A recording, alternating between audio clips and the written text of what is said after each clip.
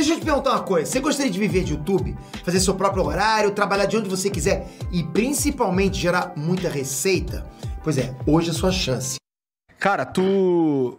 tu eu imagino que assim, você tem uma, um, um plano para como é que você vai fazer para chegar no segundo turno e tudo mais. Esse plano ele tá mais voltado a tirar eleitores de Bolsonaro e Lula ou convencer a galera que não tá decidida a não votar em ninguém?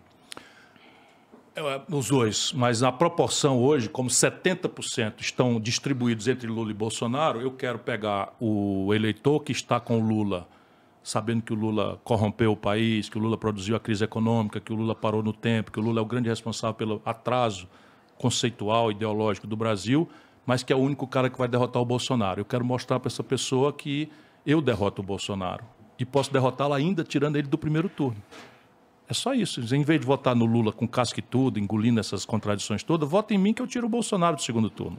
Isso eu vou dizer. E o, e, e o eleitor que está decepcionado com o Bolsonaro, de novo, deixa eu lhe dizer, 70 de cada 100 eleitores de São Paulo, do Rio e de Minas, do Rio Grande do Sul, que são estados extraordinariamente politizados, de cultura evoluída e tal, votaram no Bolsonaro, irmão. São nosso povo. É um povo que eu amo, a quem eu dei a minha vida. Então eu quero eles para mim. Quero reconciliar o Brasil. O que, que eles estão fazendo com o Bolsonaro depois de terem sido enganados? Eles não querem de volta a esculhambação do Lula e do PT, que eu também não quero. Então eu posso dizer para eles: olha, meu irmão, a chance agora é você botar um cara que vai poder fazer uma discussão lá, lá- lá no segundo turno com o Lula, tira o Bolsonaro agora, porque eu lá eu vou poder discutir corrupção, pacificação do país. Você acha que se o Lula for eleito, o país vai amanhecer mais ou menos pacificado? Vai amanhecer. E guerra. E é a mesma coisa. Sim, é evidente. No mínimo. Você acha que o Lula tem condição de oferecer uma agenda de, de- de- de enfrentamento da corrupção, que é um problema gravíssimo no Brasil? Ele tem alguma condição, ele não tem condição nem de falar no assunto. Percebe? Então, isso, isso é a minha tarefa: reunir os brasileiros que, que sabe, que, que querem construir um, um caminho novo para o país. O que, que eu ofereço? Eu ofereço uma vida limpa. Pode me olhar, observar aqui, nenhum processo na vida. Nenhum. O que é quase, quase raro. Nenhum. Nem para ser absolvido. Essa é a minha obrigação, mas eu, me- eu me garanto. Mas é triste como é raro mesmo, né? É muito raro. Nesse nível que eu tô, nenhum. Nesse nível que eu tô, nenhum. O Bolsonaro, por exemplo, responde vários, vários problemas e tal. E eu tô, ofereço uma vida limpa, experiência. Eu fui ministro da Fazenda, saí pela porta da frente, país crescendo, desemprego recorde de baixo, inflação perto de zero, sabe? Superávit nas contas públicas, o maior da história. São coisas práticas. Criei a legislação que protege os trabalhadores nos lucros e resultados das empresas. Criei a TJLP para fazer um juro diferente para a empresa que eles revogaram. Tem uma obra. Eu ajudei a fazer o Mercosul, está lá minha assinatura, assinatura minha no real. Então, é uma experiência exitosa. Nunca, se não o melhor prefeito de capital, o melhor governador. E um amor profundo. É uma paixão. Fui candidato já três vezes. Sabe, se eu não tivesse muito amor ao Brasil, botar a viola, a viola no saco, cuidar da minha vida. Mas estou aqui agarrado, feliz da vida, entusiasmado, todo mundo me, me humilha. Tá, não tem chance, não sei o quê. Perfeito, deixa o povo votar. Deixa o povo votar. E, e- mas e, e e os 30% lá que não, que, não, que não quer votar em ninguém, cara? Porque assim, Eu vou vejo atrás. uma grande uma oportunidade. Eu vou atrás. Me parece uma oportunidade foda. É muito grande. Né? E isso que é? É o desalentado com isso. Porque Eu sou esse cara, tá? É, claro. Eu tô nesses 30% não aguenta mais que, ser enganado. Pô, vou fazer o quê? Deixa, bota qualquer um aí. Não vou... Mas o problema é que essa omissão, ela é ativa. É, do seu ponto de vista pessoal, eu entendo com o meu coração. Você imagina eu, imagina o meu sentimento pessoal. O meu, Ciro Gomes, pessoal.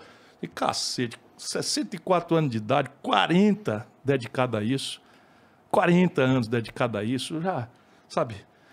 Não tenho nada, não tenho empresa, não tenho coisa nenhuma, só dedicado a isso o tempo todo, acordo de madrugada, durmo tarde da noite, não sei o que e tal, falo pelos cotovelos, ouço as agressões mais insultuosas, mais, sabe, tipo lá o do Vivier, o negócio, o cara vai lá no programa com a maior leviandade, manda, lança suspeições morais sobre um cara que procurou, sabe, eu não fui morar no palácio, cara.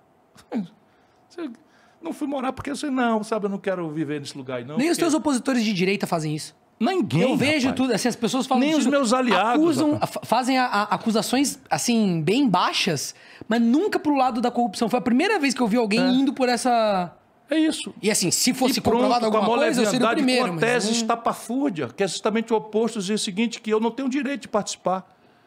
Que eu agora, se eu quiser defender a democracia, eu tenho que votar num cara que eu considero comovidamente, sabe, o grande responsável pela tragédia que o Brasil está vivendo. Eu afirmo para todo mundo, com o peso da minha responsabilidade, não existiria o bolsonarismo se não fosse a contradição moral e econômica do Lula. A irresponsabilidade, a falta completa de escrúpulo do Lula. Pô, o cara tá agarrado com os caras toda a mesma gente. Gedel, os- ah, meu irmão, entra na internet, chama Gedel Vieira Lima. Fotografia, você vai ver lá. Faz senão que você vai ficar triste. Isso, Porra, mas dá uma olhada lá e aí, aí depois olha o seguinte, Fiquei Gedel... curioso. Gedel Ô, Jean, bota Ó, Gedel. Vieira Lima, vê o que aparece. Bota aí no Google.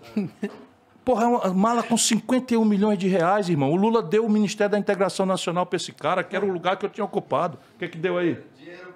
Mostra aí. Mostra aí. Agora, isso aqui não foi um susto, não. O Lula tá agarrado com ele hoje na Bahia. Tá aí, ó. Sabe, meu irmão, você que tá desempregado, que tá ferrado aí, não sei o que e tal, tá aí, ó. O teu Meu. dinheiro onde é que tá, ó? Não é show? Nossa.